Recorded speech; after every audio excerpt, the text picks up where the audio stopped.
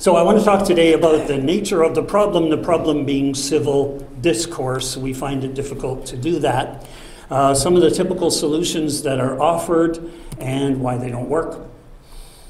And some atypical solutions that I'm going to recommend that are uh, perhaps going to work a little better for us. Uh, and then how do we implement that? The nature of the problem, as you know, is that people are more polarized than usual. Typical solutions are let's not talk about politics. To some extent, that's a good solution because religion and politics are not really intellectual positions for most of us. For most of us, this is a pretty emotional kind of a topic. Uh, sometimes we want to only let the experts talk. Another way to solve this problem that we don't seem to be able to talk without getting mad, uh, we can follow Robert's rules or any other set of rules. Somebody can come and say, look, here's the rule. Don't do this, don't do that, don't do that. And if you start to do that, if you're swearing, if your voice is getting loud, someone will tell you, hey, hey, hey, don't do that. So that's one way to address the problem. And if you have a strong moderator who can enforce that, uh, that can work. Uh, another famous American way to deal with controversy is to just vote. 51 of us want this, and 49 of you don't want it. There's more of us than you. We can beat you up, so that's it. You just have to take it. If politics becomes so uncivil and so distasteful that no decent person will participate, then who's running the country? Not the decent people. So the problem here is people get mad. So what we're going to do is we're going to get a sign. We're going to get Don Fraser over there to design us a sign. And we want to have a big font, a very big, bold font. Don't get angry. so, but it's usually very expensive and disruptive to just smash the problem head on. It's guaranteed to uh, empower your enemy when you do that. It's a short term solution and it relies on brute force because something is happening that you don't want to have happen, and now you're going to stop it. And now you've taken a lot on your shoulders, and mostly it's not going to work. And the big thing is, it shows a commitment. So if somebody says, you know, that Roseanne, she made a racist uh, tweet, ah, don't worry, we'll fire her. So we fired her, and now everybody can see that we took the problem seriously. Whereas when you take a more subtle approach, not everybody's going to know that you did it. So there are reasons why we do first level solutions. A rabbi, annoyed that his yeshiva students were devoting lunch breaks to playing soccer instead of discussing the Torah, he decided to watch a professional match with them to see what was the big deal. And at halftime, the students asked him, What do you think about this? I have a solution to your problem, he said. Give one ball to each side, and they'll have nothing to fight over.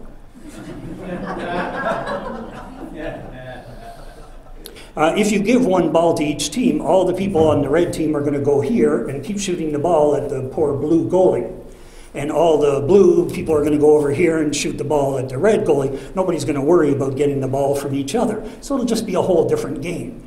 People believe that we don't get along with other people because we're different or because they're different, and who they want to blame.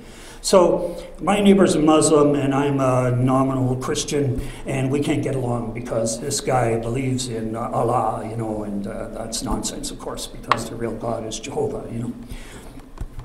That's not why people don't get along. People get along fine if they're different.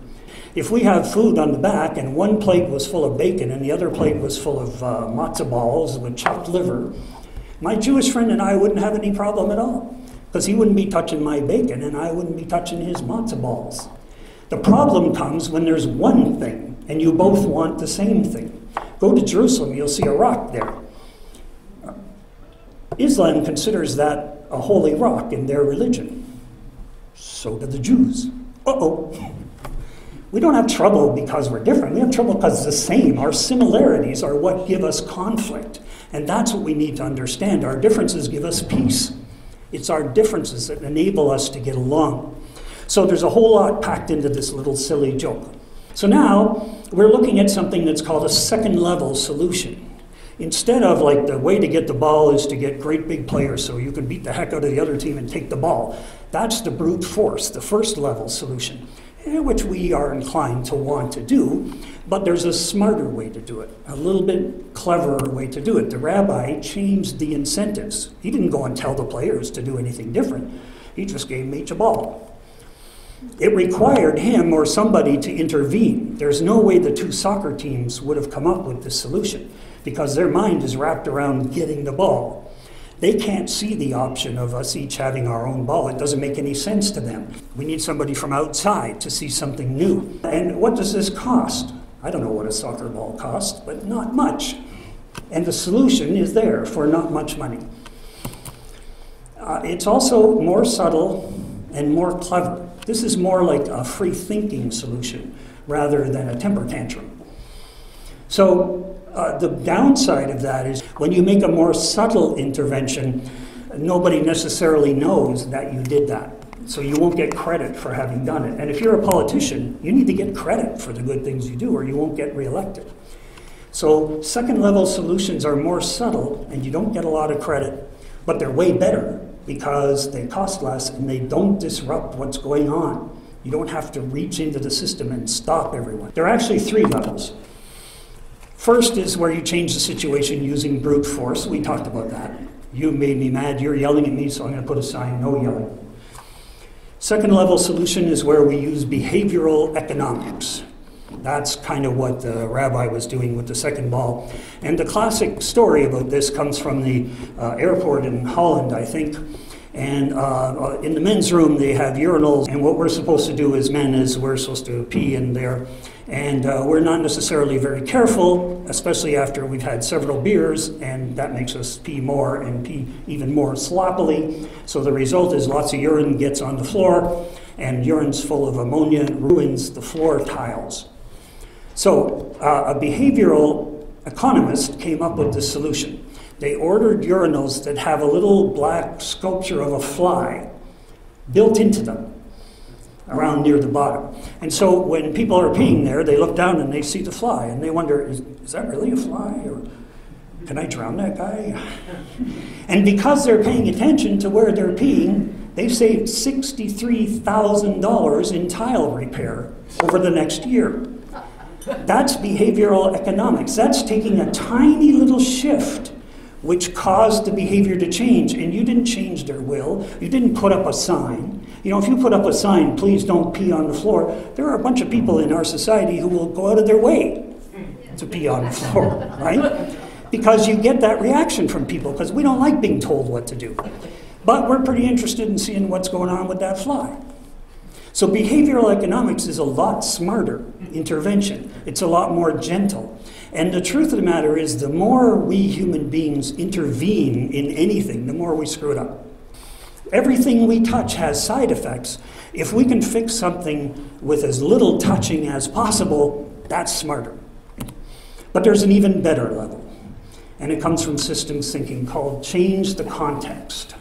And I'll give you a very quick example of this. I used to have a job in an office for a very short time.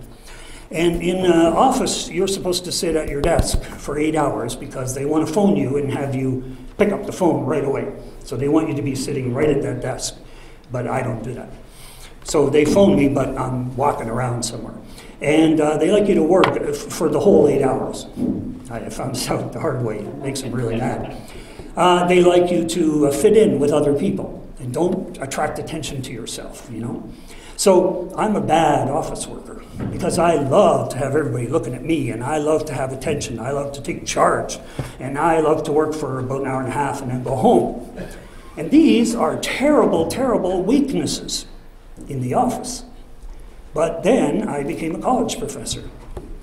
And my job was to teach three classes a week and stand at the front of the room. And everybody look at me and everybody write down what I said. So all the things that used to be a problem in the office are now okay or even desirable in the classroom. What did I change? Nothing. I changed absolutely nothing about my behavior, but I put it in a place where I think it's appropriate.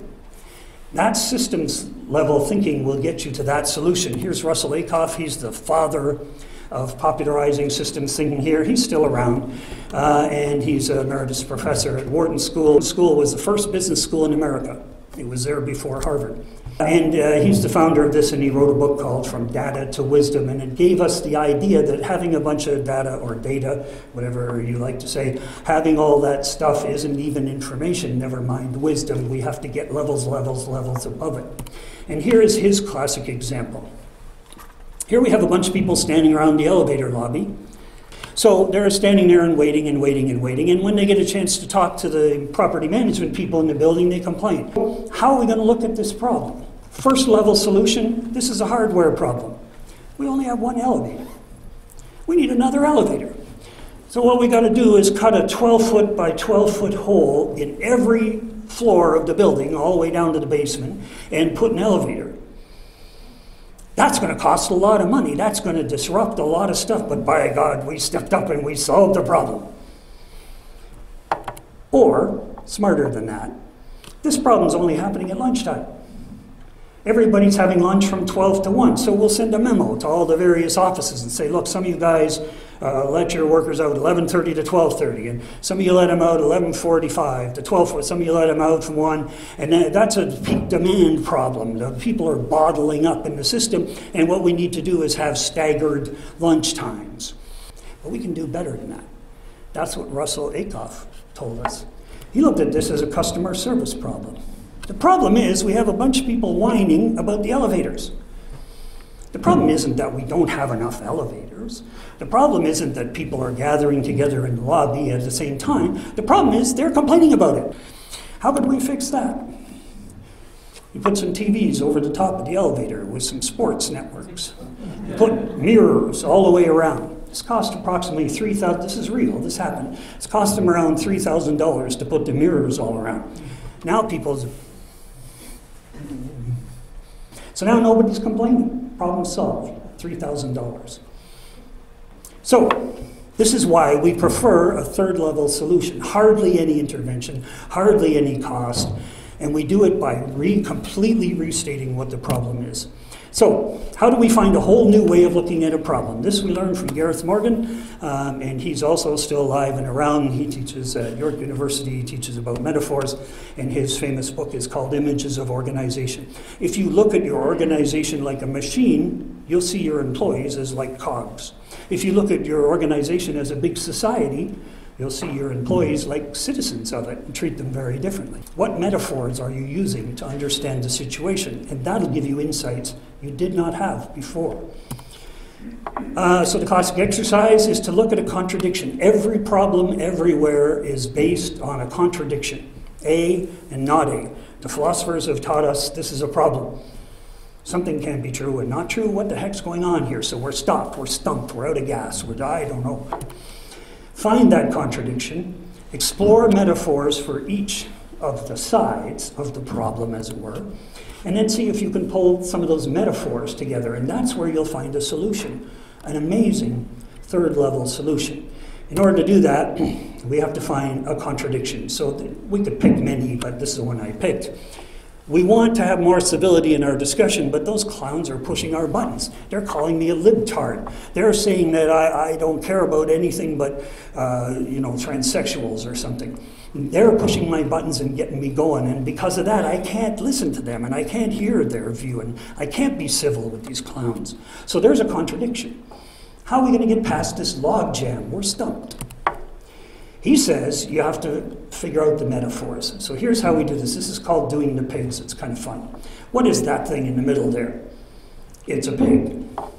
What if you're a farmer? Well, that thing is about $927 of income that you got to look after so you can keep your farm going. What if you're a little girl? Oh, that's babe. Come on over here, little piggy. What if you're a butcher? Oop, crown roast. That's pork chops. I gotta cut them nice for my customers. Uh, what if you're a Muslim? That's haram. You can't be eating that. Muslims and Jews don't eat anything that came from a pig.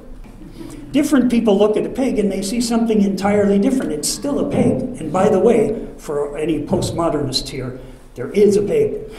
There is something there. But we are all seeing it radically differently. You want more civility? It means you don't want to get angry. You don't want them to get angry. Means you want to still be friends with this person after you finish the argument. You want to go back to being pals. It means you want to get more wisdom. You want to understand what other people are thinking about these issues because you, you might not be right. You want greater happiness in the world as we all discuss with each other better. You want to include more viewpoints in every discussion so you can hopefully get closer to the right answer. You want to understand those other people who don't make any sense to you. What they're saying doesn't make any sense to you. If somebody's doing something that doesn't make sense to you, that means you didn't get it. You better shape up. Or uh, we can look at them. How come they push our buttons? Because they're stupid. Because they just want to be right. They don't care what I tell them. They want to stick with their position. They don't want to help and make peace. They're evil people who just don't care. Uh, or maybe I'm being too sensitive. Maybe they have a point. I don't know. Maybe they just have the wrong facts. I can tell them the right facts and we'll all be friends. This is called doing the pigs. And uh, to find a solution, we need to find something on the right and something on the left that can go together. Like if I want to understand things better and those people want to be right, then I got to quit telling them they're wrong. Because, you know, they're not wrong in their head. They're obviously right in their head. So you need to figure that out. It's your problem to figure it out if you want to get wisdom. Or we could say we want to include more, more viewpoints, uh, but we're being too sensitive and we're getting angry. Then we got something we can work on. The idea is you take some of these um, outlying things. At Harvard, they do this differently. They call it um, getting past in, uh, positions to interests. So the union says we want 8% for our workers. They, they don't care about 8%. They want to get a big raise and they want the workers to love them and vote them in again next year. Uh, and the company says, we can't give you any raises. We're giving you nothing because we're going broke. Well, they don't need to give nothing, but they need to save costs. If you forget about the position each person has taken and look at their interests, the union wants to succeed and get renewed. Uh, the company doesn't want to pay any money. Well, maybe the company can provide a benefit, like maybe we can all shop in bulk because we're such a big company and we can get discounts. That'll benefit the workers, it won't cost the company a dime. If you get away from people's positions, if you ignore what people say and listen to what they're feeling, you can get to the solution. You know, if you go to a psychiatrist and say, I'm thinking of breaking up with my wife because she just won't leave my spoon collection alone, that's not the problem. Psychiatrists don't listen to what you tell them. They ignore that and they look at your body language, the little wrinkles on your forehead, beads of sweat, you know. Don't listen to what people say, listen to who they are and what they're saying. So, or what they're feeling, I'm sorry. So, what we can find here is that we both want to understand what the other person is thinking so we don't look like an idiot. We want to be correct, we want to be reasonable. Can we have a discussion with the explicit goal of informing each other so that neither of us looks foolish? Sure, we can. What's stopping us? Hmm, something's stopping us. And what's stopping us is we think we're right. So here's some things to consider. What if the person you're debating with was your grandchild or anybody else who's seven? And if your seven year old said, I kind of like Hitler because he started the Boy Scouts by having German youth, you don't say to the kid, like, here's a whack. And don't you ever talk about Hitler again, you pig, because the kid will grow up with a Hitler complex, because obviously your life seems to revolve around Hitler from this reaction. You say to the kid, well, uh, I suppose he did, and he made wide roads too, so the tanks could get around. But you know, there's other things he did that are really bad. We need to talk about. So you don't argue with a little kid because you disagree with them. So why should you argue with this person? Make believe you're their psychiatrist. Just listen to them. Uh, we got to burn all the Jews, and we got to take all the liberals and uh, put them on their own island somewhere. Really? How would that work? You don't have to fight for us. He can't put us on an island. Relax. Relax, this is just talk. Pretend this is being broadcast live just when you're about to unload on this idiot and tell him what an ass they are. Imagine the cameras there. Um, that seems controversial. It'll come out a lot softer if you imagine you're on TV, or maybe really have an audience. Imagine you're examining a space alien which in some sense people with other viewpoints seem like to us. So this guy, uh, he's green and he eats metal, mostly aluminum. Hmm. Am I supposed to argue with him? Make him eat steak? Be a spy. See if you can earn their trust. See if you can worm their way into their world so they'll listen to you. You know, uh, Doran Whitledge back there taught us something at one meeting. He said, you know, when things are going well, we're all pretty, pretty liberal. When there's lots of money and you got a plush job and you got yourself a new car and the economy's doing well, eh, I'd like to give a few bucks to the poor. You know, I'm going to give some money to the Salvation Army, whatever it is. And then when things get tight and you don't have a job, you get pretty conservative. All of a sudden, you get pretty Archie Bunker like.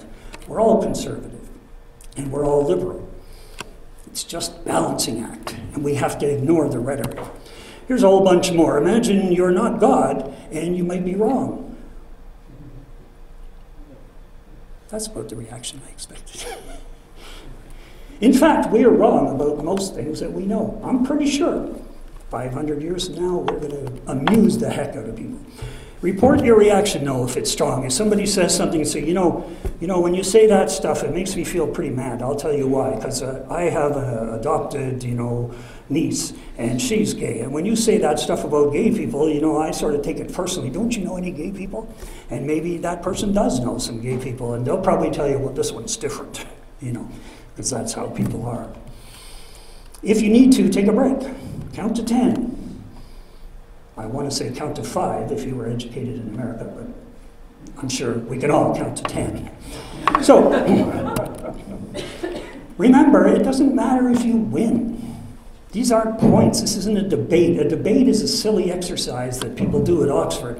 And it's fun and it's kind of fun to watch and you can learn stuff, but it doesn't solve anything. If you bring a really great debater to argue that there's no such thing as gravity, and you bring a taxi driver to argue that there is gravity, there's a chance the good debater will win the debate, but it doesn't change the truth at all. It doesn't make any difference who wins the argument. It doesn't matter. If you're here to win, you're in the wrong planet.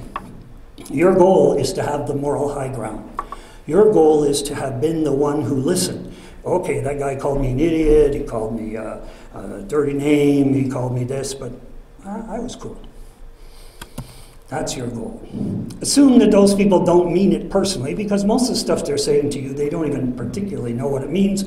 They're literally quoting something they heard on TV. And by the way, so are you. Try to fall in love with them. This is the neatest thing. And sometimes psychiatrists do this. Try to fall in love with that person. Imagine, like, uh, I'm in love with this person, I'm going to marry them, whatever. Yeah, they love Trump, but we got to talk about that. So the problems will seem a little less serious when you do that. And also, you'll pay more attention to them, to how fast are they speaking, how tight is their voice, all that stuff. If you remember having conversations with people that you really love, you're really, really paying attention. Really, really. That's what you need to do in these conversations. Address their ideas. You know, that last thing you said, I, gee, I don't think that's a good idea at all. I think that could cause a lot of harm. Not, I can't believe you ascribed to that stupid idea, you animal. Obviously, the discussion is going to stop and you're not going to learn anything. We're here to learn. Don't tell them to calm down. Don't ever do that. Anybody who's ever had a relative who drinks, don't tell them to calm down, that'll make them furious. Don't tell them, hey, think about it, that'll also make them furious. Don't say, I know why you said that. Don't be Freud on them, you know, I see why you said that. Yeah, no, you don't. You don't. Notice when your knuckles get white. You're sitting at the table, you're making fists, and your knuckles are getting white, and your voice is just raised a little bit in volume. Notice that. Because, hey, here, whoa, whoa, Jimmy boy, shh, whoa. Notice when you're getting upset. Try to control it or, or announce it. You know, talk about it if, it's, if you can't get rid of it. Notice when your voice gets tight, when your breathing gets heavy, and notice theirs also. Notice when they're getting mad. And back off for a minute. Don't keep pushing the point you're on right now if it's making them mad. Talk about something else for a minute. It's not hard if you pay attention to them as you would to a lover or to a psychiatrist's client. Pay attention, watch, see what's going on. Whenever there's a downward spiral, and we've all been in these, I, I personally think it's especially men, but I suppose it's true for women too. But if you see two 12 year old boys in the schoolyard, you'll see one saying, Oh yeah? Oh, oh yeah? And the other one will be saying, Oh yeah, that's right, that's right. And they're both getting ready to, they're both looking over their shoulder for a teacher. Hey, hey, hey, come on somebody come and break this up because you know we're going to end up in a punch up and i'm going to get a sore nose my glasses are going to break you know But we can't back down. But notice when it's spiraling like that and say, hey, hey, hey, we're both getting pretty angry here. I wonder if we could just talk about something else for a minute or something like that. Because we're human. We're going to get mad. We're supposed to get mad. It's okay.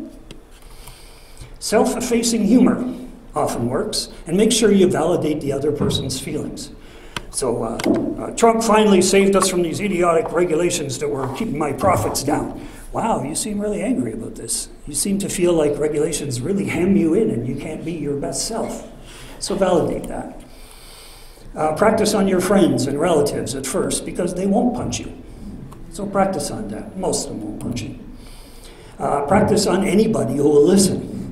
And a good place to have an argument, where, or I mean, have a discussion with someone you don't agree with, is a very public place, like a McDonald's or whatever, uh, where uh, most, for the most part, you'd be too embarrassed to start punching each other out. And if you do, somebody will stop you or call the police or what have you.